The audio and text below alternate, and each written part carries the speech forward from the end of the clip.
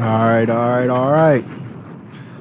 That is the energy we are on today, family. Today is uh, Tuesday, April 12th, 2022. Currently 10:36 a.m. here on the East Coast, Philadelphia area. About 52 degrees outside, headed up to about 70.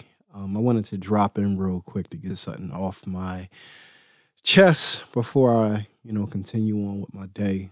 Um, I got a quick workout plan. Then I got to go pick up my daughter from childcare and got just a bunch of stuff to do. I feel like I'm like the busiest, busiest black man in America. But um, you know, I try hard to keep it, to keep it all organized, keep it all together, uh, and to do it in a way where I can maintain. I mean, my mental health and all that good stuff. But that being said, man, I got something I really want to get off my chest here and I've I've decided that I'm actually going to do a war talk uh, this coming Sunday on this particular uh, topic. Um, for those of you who don't know, um, this past Friday I was um, a guest on Black Power Media uh, with Dr. Jared Ball um, to discuss uh, the press release that Afrocentricity International put out back on the 31st of um, of March just detailing the reasons behind our split or break with Dr. Molefi Asante.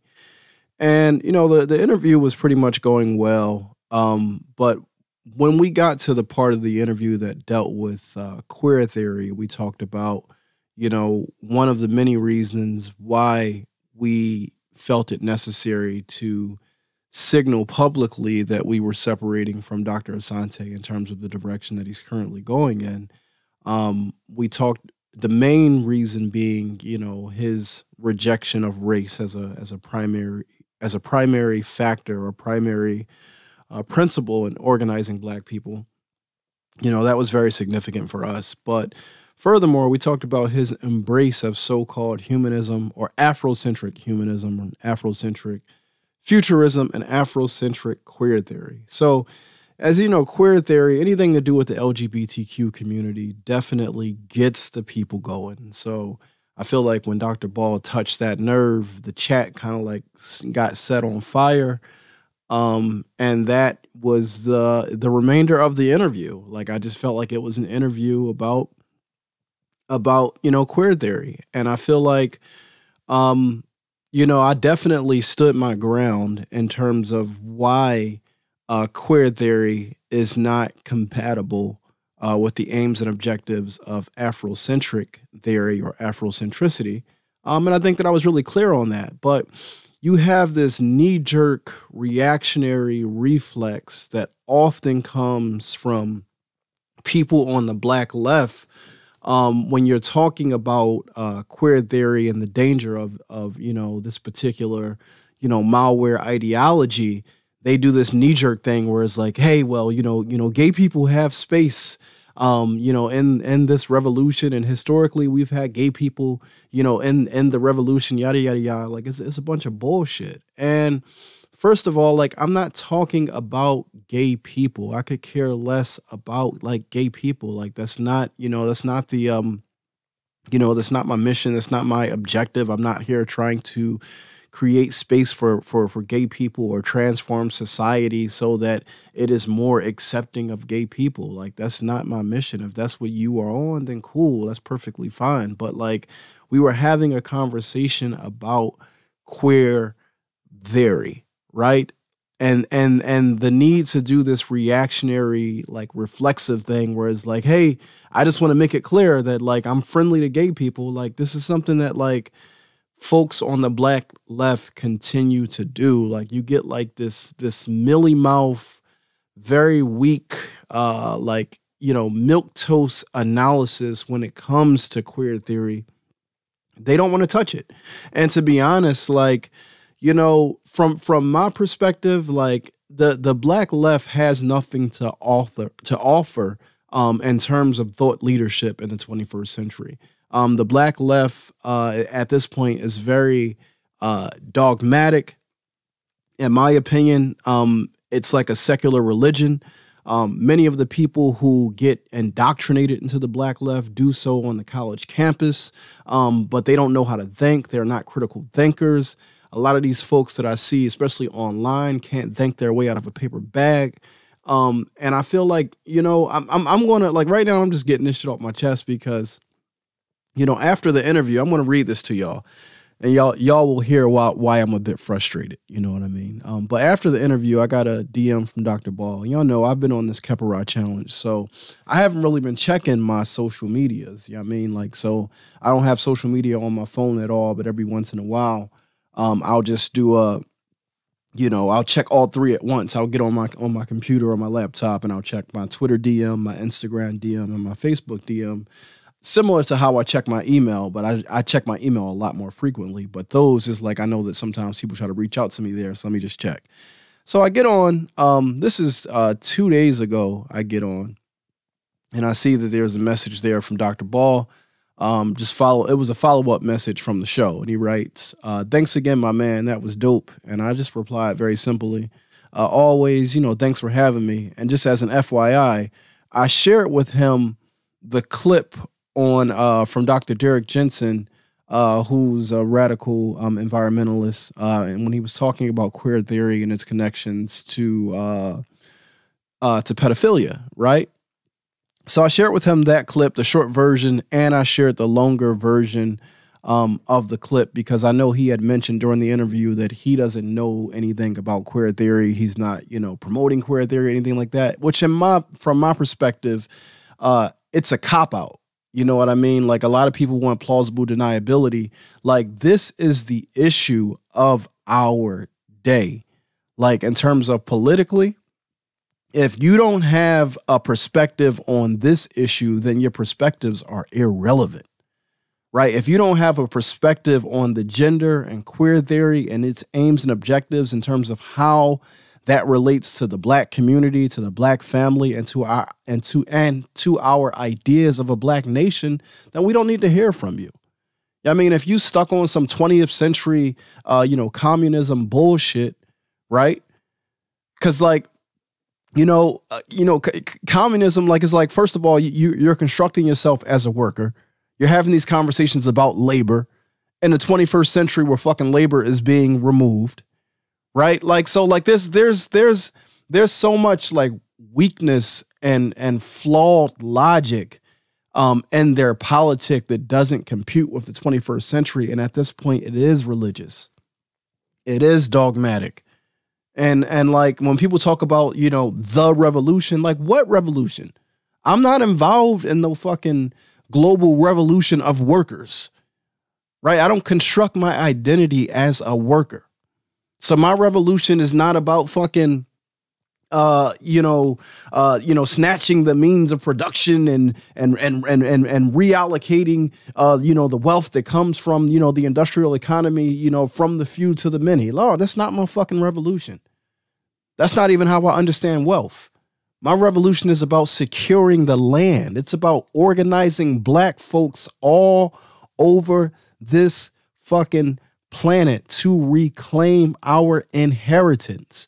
And when we have our wealth back, we will determine, based upon our cultural values, how we allocate that wealth and what our relationship with, with that wealth will be.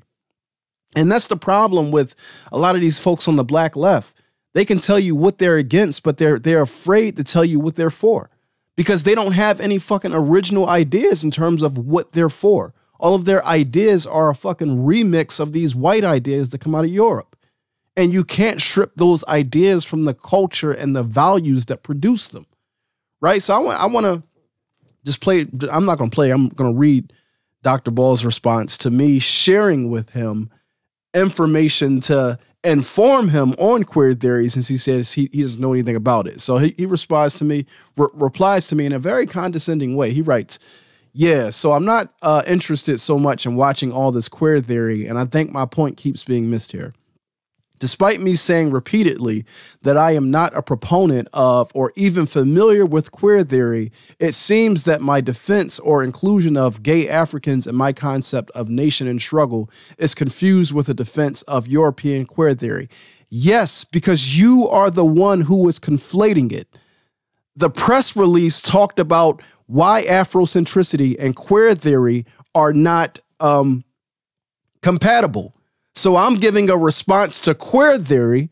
And in my response to queer theory, you jump to defending gay people. I'm not talking about gay people. I'm talking about queer theory. So, yes, your defense of gay people in the face of me having a conversation about queer theory, you are the one that's fucking conflating it.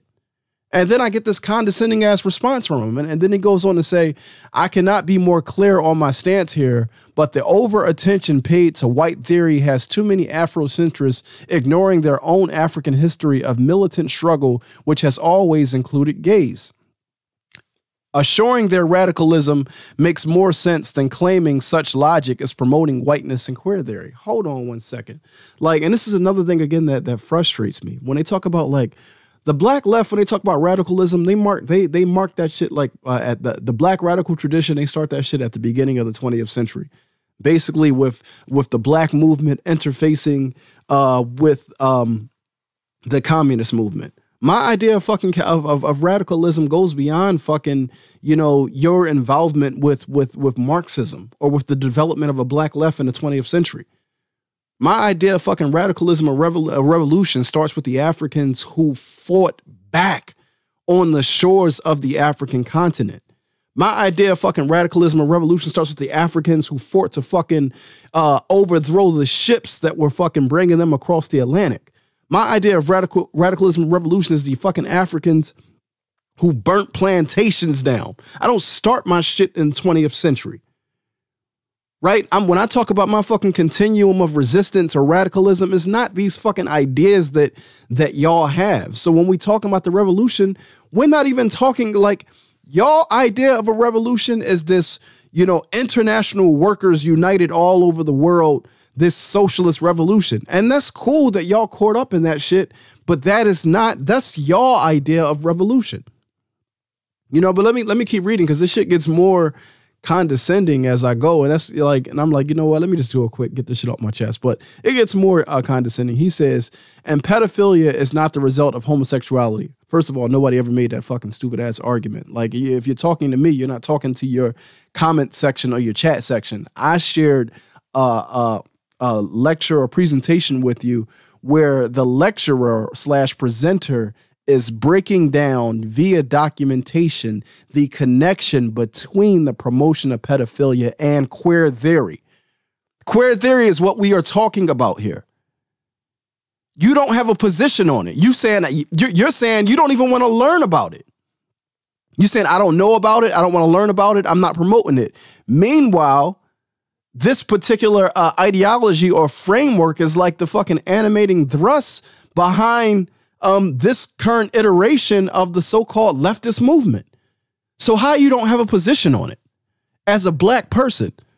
Right, so let me keep on reading here. He says, that's just nonsense. And all that to say, I don't need an education on queer theory as much as I think anti gays need more education on political struggle. Condescending as fuck right here. So I'm definitely going to do a war talk on this this coming uh, Sunday. I don't need an education on queer theory, i.e., I don't need to have a position on it. I can stand in my ignorance on queer theory. And when you're critiquing me on queer theory, I'm going to turn around and say, hey, you're being anti gay. This is some intellectual, cowardly, fucking dishonest bullshit right here. That's what this is. That's what this response was. I'm going to paint you as being anti gay because you're critical of queer theory and saying that it has no place in a black revolution. So that's my that's my rant for today, y'all. Like y'all real y'all got a real fucking soapbox today. Cause that that's this this is the this is the uh you know I'm like yo I, I reply to this shit with one word. He got a one word response to me from me. My response was interesting, period. Because that was some condescending bullshit. How the fuck do you say, I don't need an education on queer theory as much as I think anti gays need more education on political struggle? Nigga. Yo, yo, I'm listen, man. Listen, I'm trying to be respectful, even with the smoke. I'm trying to be respectful because, like, yo, the disrespect, the condescension. I, I don't I don't I don't got it in me to take certain shit passively, especially when I offer you respect. Nigga, if I if I offer you my hand and you spit in my face, I'm liable to cut your fucking head off, nigga, and piss in that shit. Like, yo, don't fucking play with me. Yo, all right, listen. Let me calm down. Woosah. Supposed to be over here on my Kepara shit. Transformation. I mean? Trying to be peaceful, trying to be zen, trying to connect, know I mean? But yeah, I'm trying, I'm trying, I'm, I'm trying to ground my energy. Yeah, I mean, like I got a lot of good things happening, a lot of great things happening. And sometimes, like, y'all know me, I be trying to be diplomatic. I really do. But sometimes, man, these Negroes will make you fucking pull out the sword.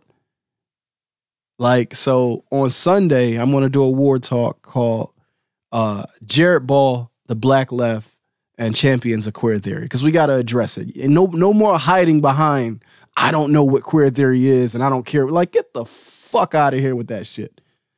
Like, that's an endorsement at this point. It's a tacit endorsement. If you don't know what it is and you don't want to speak against it, then you're for it. Fuck it. That's where we at with this shit. All right, so I'm tapping out, man. I'll talk to y'all soon. Uh, hopefully, y'all enjoy this soapbox, which today just happened to be a rant. All right, I'll talk to y'all soon. Peace.